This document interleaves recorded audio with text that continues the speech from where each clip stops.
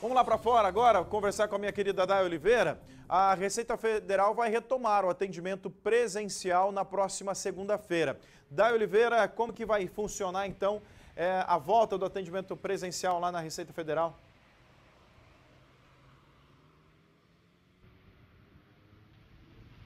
Olá mais uma vez, Rude. Olha, vai ser a partir da próxima segunda-feira, dia 29, para aquelas pessoas que não sabem ao certo onde fica o prédio da Receita Federal aqui em Três Lagoas. É ali ao lado do SAMU, em frente ao prédio lateral da Câmara Municipal aqui de Três Lagoas.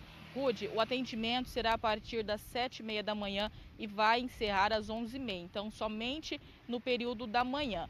A Receita Federal disponibiliza o telefone 3524 2794 para aquelas pessoas que tiverem alguma dúvida, principalmente porque agora não somente a Receita Federal, mas os bancos e diversas instituições estão partindo para o atendimento digitalizado. O que é isso? Muitos dos atendimentos para facilitar, é, a pessoa pode acessar a internet através do site ofi oficial.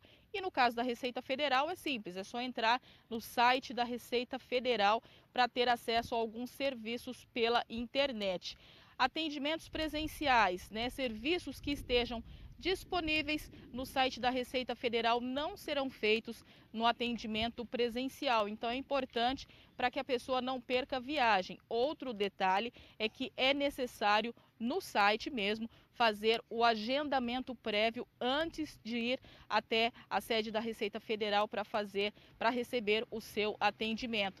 A Receita Federal, né, prevê que vai fazer atendimentos aí com um cadastro de CPF que é muito procurado aqui no município e também a alteração naquelas pessoas que têm dados incorretos, nomes incorretos no CPF precisam fazer alteração. A Receita Federal faz esse atendimento, também emissões de DARFs, alguns parcelamentos que às vezes por vezes não estejam disponíveis pela internet. Então, a sede da Receita Federal vai fazer este atendimento presencial. Então, a partir da próxima segunda-feira, quem precisa estava aguardando esse atendimento já pode procurar, mas é necessário fazer o agendamento prévio, Rude. Eu volto com você aí no estúdio.